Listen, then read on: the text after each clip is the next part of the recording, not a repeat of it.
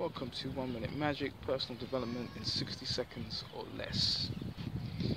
There are many sources of energy we draw from, uh, including our food and drink, air, the people around us, and the other information we're taking in in terms of what we're reading, what we're seeing, what we're hearing. One amazing source of energy, which is actually free is nature.